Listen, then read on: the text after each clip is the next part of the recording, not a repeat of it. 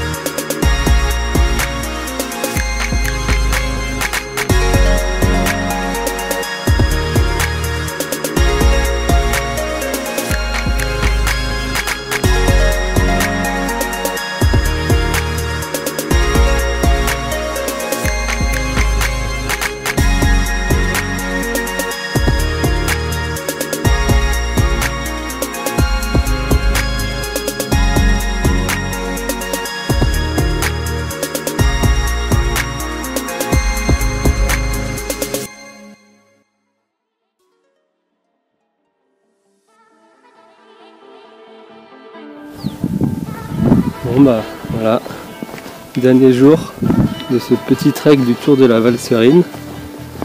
C'était super sympa.